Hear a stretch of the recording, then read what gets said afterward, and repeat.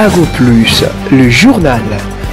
C'est l'heure de vous informer, madame, monsieur. Bienvenue dans ce journal que vous propose Ago Plus Télévision. Le plaisir est sera toujours le nôtre de vous informer. Tout de suite, voici donc les titres. Le nouveau ministre d'État et ministre de la Justice, Constant Moutamba, a déclaré lors d'une sortie médiatique qu'il pense déjà à la construction d'une prison réservée aux amoureux des détournements des deniers publics. Les évêques catholiques comptent sur la jeunesse et l'énergie de Constant Moutamba pour traquer le délinquant financier et le fossoyeur congolais. La 11e brigade de réaction rapide des FRDC a un nouveau bâtiment administratif à Kinshasa, Maluku. Ce bâtiment a été réhabilité par la maison militaire du chef de l'État, Félix-Antoine Chilombo Tshisekedi. Ago Plus, le journal. Madame, Messieurs, de retour sur ce plateau, bienvenue encore une fois de plus dans ce journal. On commence à la une de l'actualité. Le ministre d'État, ministre de la Justice, Constant Moutamba, a déclaré lors d'une sortie médiatique euh, qu'il pense déjà à la construction d'une prison qui sera réservée aux détourneurs de fonds publics de l'État. Suivons donc les détails dans cet élément qui vous propose votre rédaction. Nous allons très rapidement euh, lancer la construction de la prison pour les détourneurs des deniers publics. Prison Yamibi. Et je suis content que Mme Rose euh, ait déjà entrepris des démarches euh, euh, dans le sens de la construction des prisons. Elle a effectivement fait référence à la construction de la prison pour les femmes, mais nous, nous pensons que la priorité, c'est plutôt la prison pour les voleurs d'État. Et cette prison sera visitée par euh, nos enfants.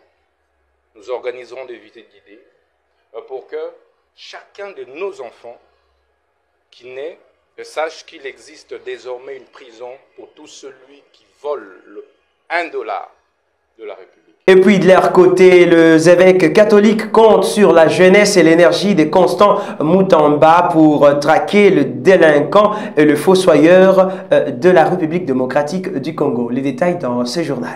Suivez. Des choses à recommander au ministre de la Justice. Hein. J'ai appris qu'il a dressé un chien, un chien un berger pour euh, traquer tous les fossoyeurs de la République. Euh, je l'encourage dans ce sens-là, que ce ne soit pas un chien à copal, mais un chien vraiment qui, euh, qui, va vraiment traquer tout ce monde-là. Ces fossoyeurs, on, les trouve euh, parmi les magistrats, on les trouve parmi les juges, on les trouve dans les ministères, dans les entreprises d'État. Donc, nous comptons sur sa jeunesse, sur ses énergies, pour qu'il puisse apporter un souffle nouveau dans le bon sens pour l'émergence de notre justice. Parlons à présent des FRDC à Kinshasa. Madame, Monsieur, les hommes en uniforme seront renforcés dans le coin chaud de la ville de Kinshasa. Ces nouvelles mesures viennent en appui aux équipes de patrouille mixtes du Mont euh, opérationnelles. Quel est donc l'avantage de ces mesures? Le commissaire divisionnaire adjoint de la police nationale congolaise à Kinshasa, Blaise Kilimbalimba, nous explique au micro d'Ago Plus. Suivez. L'avantage, c'est porter plus haut, encore plus haut, le niveau d'alerte sécuritaire dans la ville de Kinshasa. Vous savez, les menaces qui nous guettent depuis le 19, cela a fallu qu'on puisse réfléchir autrement pour mener plus haut le niveau de cette alerte. Donc, il s'agit des points chauds en sus des patrouilles mixtes commissariat provincial, 14e région militaire et task force, nous allons déployer, et dès ce matin, des policiers et militaires pour marquer la présence et pour euh, surveiller les comportements de tous ceux qui menacent la paix et la quiétude dans la ville province de Kinshasa. Vous venez d'assister au premier briefing, le deuxième briefing est là. Donc, euh, des codes vont être donnés pour que ceci soit euh, respecté. Et comme nous l'avons dit, à toutes les unités qui viendront en appui à cette action de sécurité publique qui est une affaire de tous, tous ces gens doivent respecter les codes de bonne conduite. Semaine de l'énergie. Partant du 18 au 26 juin 2024 à l'hôtel Sultani à Kinshasa, une réunion annuelle est prévue entre l'autorité de la régulation du secteur de l'électricité et ses partenaires, ainsi que les opérateurs du secteur de l'énergie. Le détail dans cet élément que vous propose la rédaction d'AgoPlus. Suivez. En marge de la semaine de l'énergie qui se tient du 18 au 26 juin 2024 à l'hôtel Sultani de Kinshasa, l'autorité de régulation du secteur de l'électricité ARE va du 18 au 19 juin tenir sa réunion annuelle avec les opérateurs du secteur de l'énergie et ses partenaires. Sous la férule de la directrice générale de l'ARE, Dr Sandrine Moubenga, les participants vont entre autres passer en revue les données et indicateurs contenus dans le rapport annuel des opérateurs, évaluer le niveau d'exploitation des différents titres attribués aux opérateurs au travers de l'ARE ou ayant pour tous les segments d'activité et aussi prendre connaissance des prévisions de chaque opérateur pour la période allant de 2025 à 2030.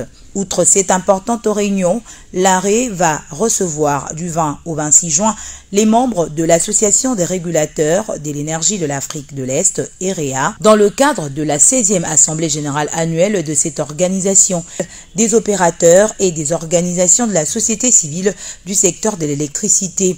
Tenez, les régulateurs de l'EREA vont discuter dans l'objectif de renforcer la coopération et échanger sur les expertises respectives du domaine de l'énergie. Rencontre entre le ministre d'État et le rencontre entre le ministre d'État et ministre Rencontre entre le ministre d'État et ministre de la Justice Constant Moutamba et l'inspecteur général de finances Jules Alinguete. Madame, Monsieur, les détails de cette rencontre dans cet élément qui vous propose AgoPlus. Suivez. Tout sera passé au crible. Aucun dossier lié à la criminalité financière ne restera impuni. Les ministres d'État, ministres de la Justice, Constant Moutamba est formel. Dans les heures qui suivent, les rapports liés à la corruption, détournement des deniers publics et autres faits de mégestion des projets lancés par l'État congolais lui seront transmis par l'inspection générale des finances. L'inflexible inspecteur général des finances, chef des services, Gilles Alingueté, s'est confié à la presse au sortir de l'audience. Son Excellence, Monsieur le ministre d'État, ministre de la Justice, veut faire de la lutte contre la corruption un élément important pour faire avancer le pays. Et dans ce cadre-là, il nous a donné des diligences euh, à faire le plus rapidement possible, euh, notamment euh, transmettre tous les rapports de ces trois dernières années ayant établi des faits de corruption et criminalité financière pour que le ministère de la Justice s'en occupe.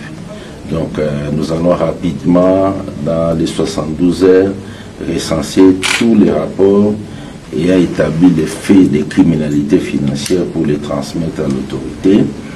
Deuxièmement, il y a une série euh, d'audits qui vient d'être commandés à l'inspection générale des finances, notamment l'audit de tous les fonds mis à la disposition de la République pour euh, l'indemnisation des victimes de Kisangani. Bien avant, les patrons de la justice s'est entretenu avec les différents directeurs du secrétariat général, question de se rendre compte des conditions de travail et échanger sans protocole avec son personnel. Toujours dans l'armée, Madame, Monsieur, la 11e brigade de réaction rapide des FRDC a un nouveau bâtiment administratif à Kinshasa, Maluku, signalant que ce bâtiment a été réhabilité par la maison militaire du chef de l'État, Félix-Antoine Chulombo dit. Le général-major Ngoma Germain, chef de département des opérations de la maison militaire du chef de l'État, a procédé ce samedi 15 juin 2024 à l'inauguration du bâtiment administratif de l'état-major de la 11e brigade de réaction rapide à Maluku. Les travaux de la réhabilitation de ces bâtiments ont été financés sur fonds propres de la maison militaire du chef de l'État. Les clés de ces bâtiments, revêtus de sa plus belle robe, ont été remises au colonel Kalenga Jean Bovin, commandant adjoint en charge de l'administration et de la logistique de cette unité. Au terme de cette cérémonie, les représentants du chef de la maison militaire du chef de l'État a livré ses impressions. En tout cas, les impressions, euh, en tout ce que je vis, il y a quand même quelque chose qui a été fait, qui n'existait pas dans les temps. Et aujourd'hui, nous vivons des réalités, des réalisations de la maison militaire. C'est une œuvre qui vient d'être réalisée, et je sais que ce n'est pas première ou dernière, mais je crois qu'il y a une continuité. De la maison militaire, je crois que nous avons beaucoup de programmes. Je crois que nous avons eu à réhabiliter d'abord Kotakoli, nous avons réhabilité Kitona, nous avons réhabilité le CI Moura. Et le projet suivant, je crois que ça sera Kamina et Lukusa. La volonté des chefs, commandant suprême, est de faire de cette armée une fer de lance pour la défense de notre patrie. Un fer de lance pour dissuader nos ennemis. Donc c'est ça la position. Donc nous, allons quitter les 10e, 8e et 9e places que nous occupons, nous devons être au sommet. La 11e brigade des réactions rapides s'occupe entre autres de la sécurisation de la ville-province de Kinshasa et joue un rôle important dans la lutte contre l'activisme de miliciens Mobondo. Cette cérémonie s'est clôturée par la visite guidée du bâtiment et la séance des photos souvenirs. Et puis rappelons, Madame, Monsieur, dans ce journal que le président de la République, Félix Tshisekedi, a pris part à la prière et au banquet organisé ce dimanche au Palais du Peuple à l'occasion de la célébration de la fête musulmane de l'Aïd el-Kébir, appelée communément la fête de Tabaski. Le détail dans cet élément. Aïd al-Kabir, appelé Tabaski, est considéré par les musulmans comme la plus grande célébration de leur foi. Par cette fête religieuse majeure, les musulmans partagent prières et repas pour commémorer la soumission d'Abraham quand Dieu lui demande de sacrifier son fils unique, une manière de tester sa foi. Ici, à l'esplanade du Palais du Peuple, ils étaient des milliers ce dimanche 16 juin 2024 pour glorifier Allah, le Dieu créateur. Après la prière, différents représentants de la communauté islamique étaient conviés dans la salle de banquet du Palais du Peuple pour continuer la fête. Invité de marque, le président de la République, Félix Antoine Tshisekedi Chilombo, accueilli chaleureusement par l'assistance.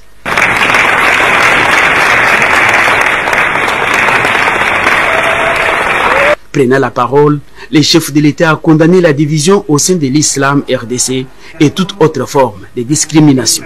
Je voudrais par euh, cet acte vous manifester toute l'importance que j'accorde à votre confession. Aujourd'hui, j'ai eu la tristesse d'apprendre par la bouche même de la ministre d'État ici présente que ces divisions sont revenues et elles se sont même encore accentuées. Je vous en prie, je vous en supplie, mettez fin à cette guerre fratricide et inutile entendez-vous?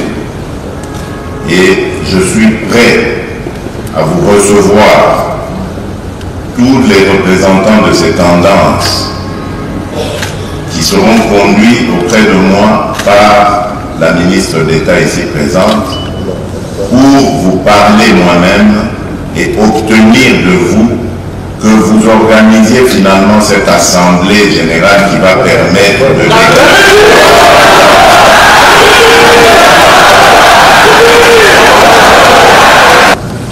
Et tant que je serai président de ce pays, je n'accepterai jamais de discrimination dans les confessions religieuses. La communauté islamique a témoigné son soutien au premier citoyen congolais, Félix Antoine Tshisekedi Chilombo, car, dit-elle, toute autorité vient de Dieu.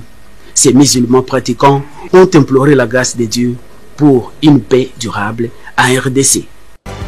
C'est ainsi que nous bouclons ce journal, Madame, Monsieur. C'est fait un plaisir pour nous, mais avant tout, voici donc le rappel des titres. Le nouveau ministre d'État et ministre de la Justice, Constant Moutamba, a déclaré lors d'une sortie médiatique qu'il pense déjà à la construction d'une prison réservée aux amoureux des détournements des deniers publics. Les évêques catholiques comptent sur la jeunesse et l'énergie de Constant Moutamba pour traquer le délinquant financier et le fossoyeur congolais. La 11e brigade de réaction rapide des FRDC a un nouveau bâtiment administratif à Kinshasa, Maluku. Ce bâtiment a été réhabilité par la maison militaire du chef de l'État, Félix-Antoine Chilombo Tshisekedi. C'est la fin complète de ce journal, madame, monsieur. Merci de l'avoir suivi. L'actualité reste en continu sur nos réseaux sociaux ainsi que nos chaînes partenaires. Vous et nous à la prochaine. Ciao.